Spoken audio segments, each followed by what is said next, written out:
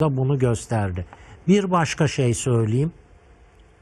Sentetik şeker dediğimiz bu nişasta bazlı şeker var ya. Evet. Lütfen bunun adı bunun fruktoz diyorlar. Meyvelerden aldığınız şeker ile fruktoz ile nişasta bazlı şekerin adı da fruktoz mübarek. Tamamen farklı şeyler. Ya sen nasıl meyve yemeyin diyebilirsiniz ya. Yok böyle bir şey.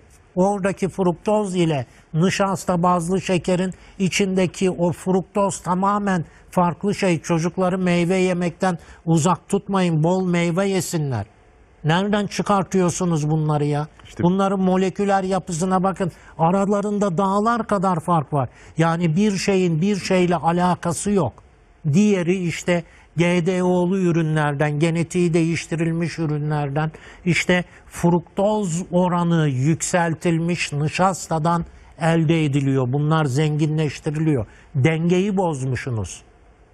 Hani diyorum ya hep ella tatkav fil mizan dengeyi bozmayın.